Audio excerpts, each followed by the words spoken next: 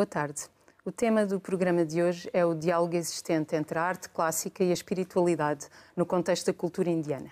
Mais concretamente, o papel da dança nesse vasto território que é a cultura da antiga Índia e que continua viva até aos nossos dias.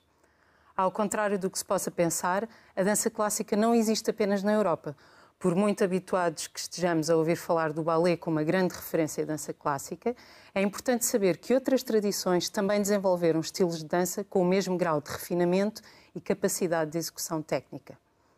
Dentro da vastidão de estilos da dança que, que, existem na Índia, danças folclóricas, ritualísticas, de celebração, existe um grupo de danças consideradas clássicas.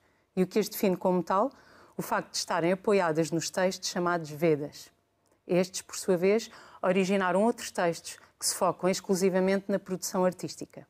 Mergulhemos por um instante nesse universo. A origem das artes clássicas indianas remonta a uma época muito antiga. Poderíamos dizer que começou na Índia, mas na verdade começou na dimensão espiritual. Houve uma altura em que os Devas e Asuras estavam constantemente a lutar os Devas têm a tarefa de manter as leis do universo a funcionar em harmonia. Os Asuras são movidos pelo desejo de conquista, atentando assim contra a harmonia natural. A certa altura, os Devas estavam exaustos por terem que envolver-se em batalhas constantes. Precisavam de relaxar e recarregar energias. Dirigiram-se a Indra, pedindo ajuda, que por sua vez se aproximou de Brahma, criador do universo material, pedindo uma solução. Brahma tinha recebido o conteúdo dos Vedas no seu próprio coração e consciência. Por isso, teve a ideia de criar uma forma de entretenimento que pudesse simultaneamente apresentar esse conteúdo filosófico. Imaginou uma maneira de combinar a música, a dança e a dramaturgia, apresentando as histórias de uma forma apelativa. Desse modo, os devas poderiam desfrutar de uma bela forma de arte que era também pedagógica, a que se chamou Natya. Do Rig Veda, Brahma tirou as sílabas e a gramática. Do Samaveda, retirou a música. Do Yajurveda, retirou o Hastabhinaya, gestos com as mãos.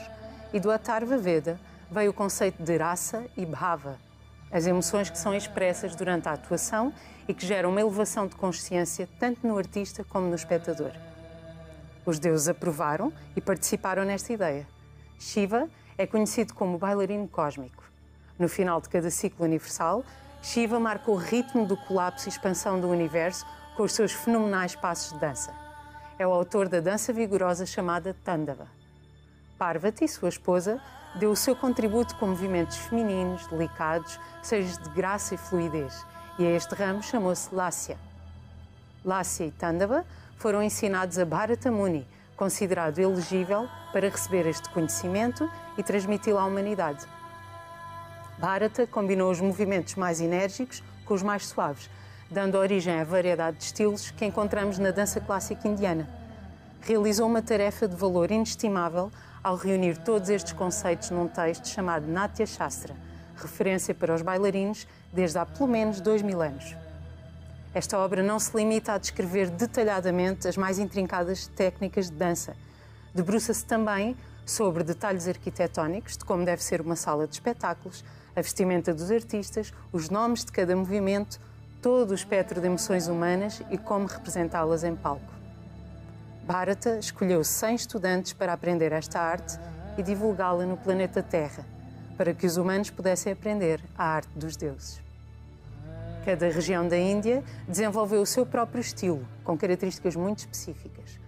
Todos os estilos clássicos têm elementos comuns: o ritmo com os pés, a referência aos textos védicos ou a abhinaya, que é a arte de contar histórias por meio das expressões faciais e gestos simbólicos com as mãos. Mas têm também diferenças notórias. Alguns estilos baseiam-se em linhas curvas e graciosidade, noutros predominam os traços geométricos e as batidas de pés.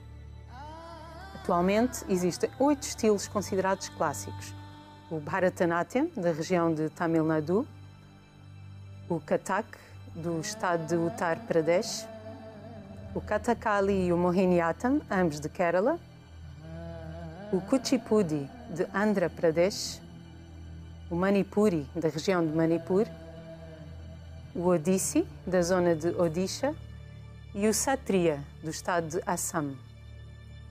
Contando e recontando as histórias dos Vedas, o artista é um veículo que canaliza a energia divina Tem a missão de inspirar o público, apresentando peças que carregam mensagens valiosas e que convidam à reflexão, enquanto entretém a audiência.